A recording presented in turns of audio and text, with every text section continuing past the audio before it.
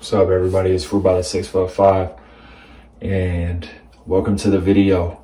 Today's video, straight to it. What are you trying to do in this life?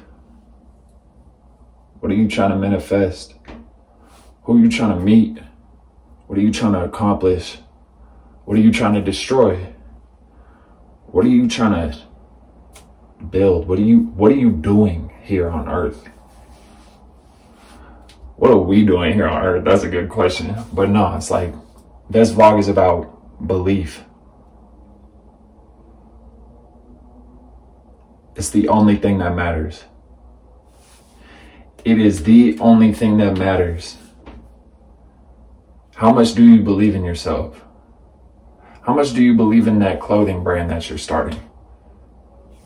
How much do you believe in the job you just got to provide for your family? How much do you believe in yourself to get through that job even though it's shitty? How much do you believe in the person who you are having sex with right now, who the, the person who says they love you, who you say you love? How much do you believe in the dream that you want to fulfill? How much do you believe in yourself being an entrepreneur? If the answer to all those isn't abundance, belief in fuck you for even asking me that, you ain't gonna make it.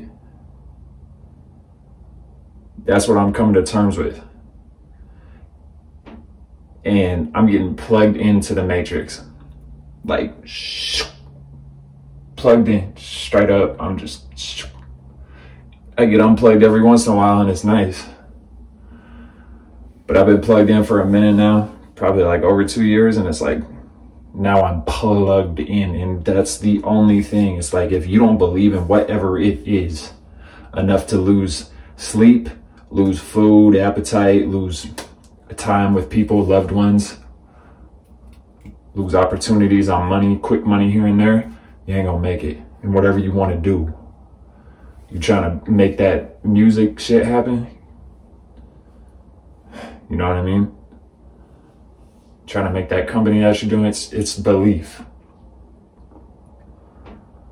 Cause setting goals, you know, all that stuff is cool, but it's like when, if you don't have that foundation of belief and gratitude, belief, it's over.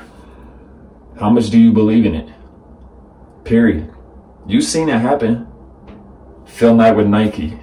Go read his book, Shoe Dog. He didn't start with nothing. No handouts, nothing. Started out middle class family, chilling. His first shipment from Japan was 30 pairs of shoes. And it took him like six months to ship to him. He was, bruh, it's, uh, I'm getting off topic, but it's like, bro, he, if he didn't have the belief, he would have been done. He wasn't making profit for a grip. He didn't pay himself for a grip. They didn't go public for a grip. I think it was like 15 years, maybe 20. Shit. Bro, that's just one example. It's like belief. Look at anybody who you're trying to be like, anybody who has the things you want. They either got A, they either got it handed to them, which obviously you're not getting it handed to you. So scratch that right now. Get that out of your head. Or B, they had to work for it and they had to believe.